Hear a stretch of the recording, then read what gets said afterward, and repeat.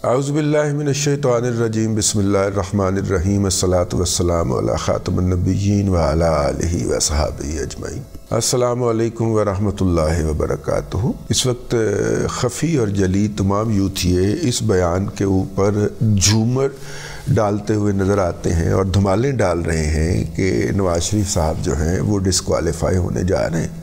क्योंकि उनका हल्का खुलने जा रहा है और एक साहब ने तो यहाँ तक कह दिया कि ये तो हो ही नहीं सकता ना कि वो हल्का ना खुले। वो तो हल्का खुलना ही खुलना है। अच्छा इसके ऊपर हमारे दोस्त जनाब सईद चौधरी साहब ने कानूनी पोजीशन वाजे करते हुए कहा कि हल्का सिर्फ़ वही खुलता है, ये रिकाउंटिंग सिर्फ़ उसी हल्के में होती है। कानून के अंदर ये लिखा हुआ है, जिस हल्के के अंदर मुस्रद होने वाले वोटों की तादाद जो डिफरेंस है, जीतने वाले का और हारने वाले का, वो उससे बढ़ जाए। यानी कि जीता वो पाँच हज़ार वोटों की लीड से है, लेकिन मुस्रद होने वाले वोटों की तादाद जो है, वो सात हज़ार है छः हज़ार है, दस हज़ार है तो वो हल्का खुला करता है। अब नवाज़ शरीफ साहब जो हैं, वो उन्होंने लिए हैं one seventy nine thousand vote यानी एक लाख उनासी हज़ार वोट लिए हैं। और उनसे हारने वाली डॉक्टर यासमीन राशद साहिबा ने वोट हासिल किए हैं एक लाख एक हज़ार के करीब। जबकि इस हलके में मुस्रद होने वाले वोटों की तादाद तकरीबन कुछ साढ़े तीन हज़ार बनती है। तो साढ़े तीन हज़ार मुस्रद होने वाले वोटों की तादाद जीतने और हारने वाले का फ़र्क तकरीबन अठहत्तर हज़ार का तो ये हल्का कानून के किसी पैरामीटर के तहत नहीं खुल सकता। हाँ प्रोपेगंडे पर्पज़ के लिए तो ये हो जाए। तो मैंने अर्ज़ किया कि जो इतने इतने लाल बुजक्कड़ साहिबान हैं जो इस वक्त इस बात को पूरी तरह प्रोपेगेट करके अजहानो कलूब को पल्यूट करते हुए नज़र आ रहे हैं। ये बात मुझे इसलिए भी आई कि वजाहत जैसा, वजाहत मसूद जैसा शख्स जो है, वो भी ये स्ट्रेटजी या ये वाला फ़िलासफ़ी या ये वाला प्रोपेगंडा बाय करके बैठा हुआ था कि जनाब नवाज़ शरीफ की जीत तो मशकूक है। तो मैंने कहा, यार कैसे मशकूक है? ये इतना ज़्यादा डिफरेंस जो है, वो विदाउट किसी बेस के क्रिएट नहीं हो सकता। और जहाँ तक उस हल्के के खुलने की बात है तो वो फ़र्क इतना ज़्यादा है कि वो हल्का नहीं खुल सकता, लेकिन पहले दिन से अटैक कर दिया गया। और माशाल्लाह बड़े बड़े पटवारियों ने भी इस को कबूल कर लिया, इस फ़िलासफ़ी को, कि नवाज़ शरीफ साहब को लाहौर के हल्का 130 में से धांधली करके जिताया गया है। और इस वक्त ये प्रोपेगंडा घूमी जा रहा है, घूमी जा रहा है, घूमी जा रहा है।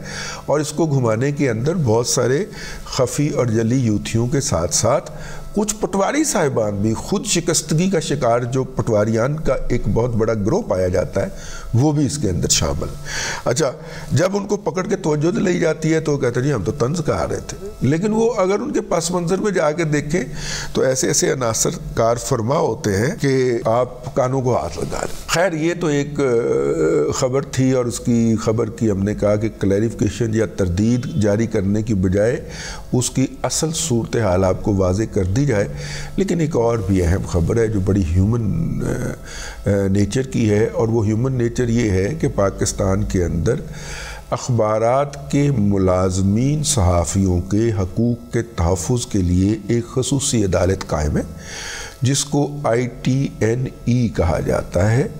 Implementation tribunal of newspaper employ ये आई टी एन ई के मतलब किसी शख्स ने किसी अखबार के अंदर काम किया है और उसके मालिक ने उसको तनख्वाह नहीं दी, वो इस कमीशन के पास जाता है। इस कमीशन को हाई कोर्ट के जज के बराबर अख्तियार हासिल होते हैं। वो इस कमीशन के पास जाता है और कमीशन के पास जाकर अपनी अर्जदाश्त पेश करता है। ये कमीशन जो है, एक शख्स के ऊपर मुश्तमल होता है, जिसके पास हाई कोर्ट के जज के बराबर अख्तियार होते हैं।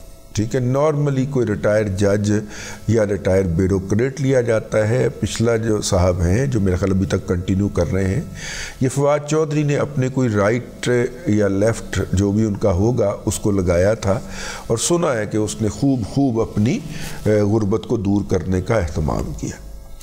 तो मतलब के वो साहब जो हैं, वो आई टी एन ई के अंदर मुतसलत होते हैं। ये पहले उस जर्नलिस्ट से कैलकुलेट करवाते हैं कि तुम्हारी कितनी तनख्वाहें हैं, क्या हुआ है। फिर वो अखबार के मालक को नोटिस भेजते हैं और अखबार जो है उसको ज्वाइन करता है, नहीं करता और अखबार मतलब तरीक़ाकार बता रहा हूँ, अखबार के मालिक को ज्वाइन करता है, नहीं करता तो उसके वारंट्स भी जारी हो सकते हैं और ये उनको गिरफ़्तार करके भी मंगवा सकते हैं और फिर उसके बाद जो है मामला आगे चलता है। और अगर वो मालिक ना दे तो ये उनके असासे वगैरह ज़ब्त करने की भी पावर्स रखते हैं। लेकिन देखा यही गया है कि इस अहदे पर बैठा हुआ शख्स जो है, वो मालकान के मफादात का तहफ़ कर रहा होता है। अब मेरे दो बहुत करीबी दोस्त हैं और अज़ीज़ भी हैं उनमें से, जिनके मुकदमात जो हैं, वो आई टी एन ई के सामने फ़ाइनल हो चुके हैं। और फाइनल होने के बाद मालकान ने उनको, अब उन, उसने आई टी एन ई ने फ़ैसला सुनाना है। आखिरी मौका दिया, सब कुछ करके देख लिया और अखबारी मालकान जो है, वो हट धर्मी का शिकार है। अब वो साहब जो हैं आई टी एन ई के जो भी सरबराह हैं, वो आखिरी फ़ैसला नहीं सुना रहे और वहाँ का जो स्टाफ होता है, वो अखबार के मालकान का जसूस बना होता है, उनको जसूसियाँ करने के ऊपर लगा होता है।